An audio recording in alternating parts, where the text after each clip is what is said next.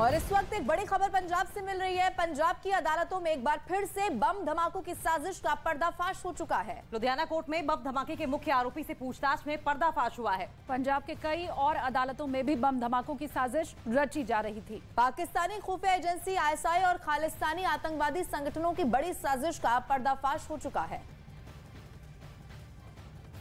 और ज़्यादा जानकारी के लिए हम रुक कर लेंगे। हमारे सहयोगी ओपी तिवारी फ़ोन लाइन पर जुड़ गए हैं। ओपी और क्या ज़्यादा जानकारी है इस पूरे मामले में?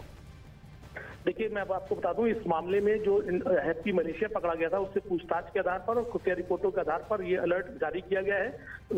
सूत्रों के मुताबिक इंटरनेशनल सिख यूथ फेडरेशन और खालिस्तान लिबरेशन फोर्स लखवीर रोडे ग्रुप के साथ मिलकर पाकिस्तानी खुफिया एजेंसी आईएसआई ने ये साजिश रची है और यह भी ध्यान रहे कि 23 दिसंबर 2021 को इसके पहले एक बम धमाका हुआ था कोर्ट कॉम्प्लेक्स में, जिसमें एक आदमी की मौत हो गई थी और छह लोग घायल हुए थे।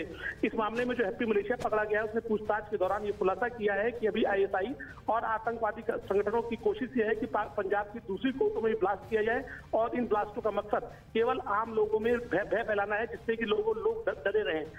खुफिया एजेंसियों की रिपोर्ट के आधार पर अब पंजाब पुलिस को कहा गया है कि वो तमाम कोर्ट कॉम्प्लेक्स की सुरक्षा को और मज़बूत करें। जी। बहुत शुक्रिया ओपी इस तमाम जानकारी के लिए।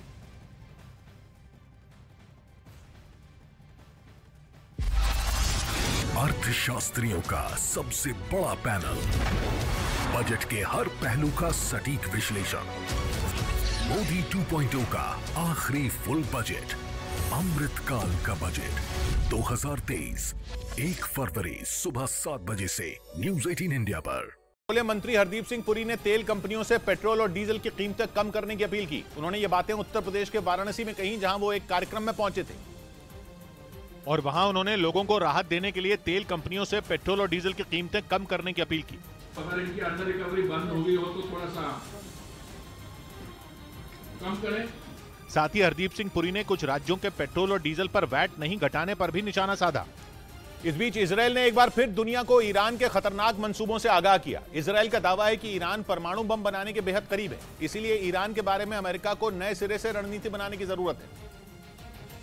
क्योंकि इसराइल दावा कर रहा है कि ईरान के हाथ में परमाणु बम होना अब कुछ महीनों की नहीं बल्कि महज कुछ हफ्तों की बात है। यानी बहुत जल्द ईरान परमाणु शक्ति बनने का ऐलान कर देगा।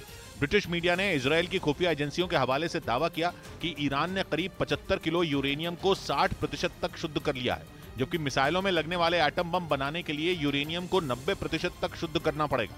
लेकिन माना जा रहा है कि 60 प्रतिशत तक यूरेनियम को शुद्ध करना एक बहुत लंबी प्रक्रिया है, जबकि इसके आगे की प्रक्रिया काफ़ी तेज हो सकती है। ईरान के एटम बम पर इसराइल की भी छटपटाहट साफ़ दिख रही है। यहाँ तक दावा कर दिया गया कि इसराइल के पास हमले के अलावा कोई विकल्प बाकी नहीं बचता दिख रहा। पिछले एक महीने में इसराइल ने पांचवी बार ईरान को हमले की धमकी दी।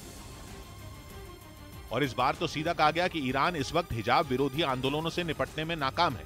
उसकी परेशानी जितनी दिख रही है, उससे कहीं ज़्यादा बड़ी है, क्योंकि इस बार खतरा सीधा इस्लामिक रिपब्लिक पर है। दावा यह है कि इन प्रदर्शनों को शांत करने के लिए वो कुछ बड़ा करना चाहता है। उसकी कोशिश कुछ ऐसा करने की है, जिससे ईरान में देशभक्ति का सैलाब उमड़ पड़े।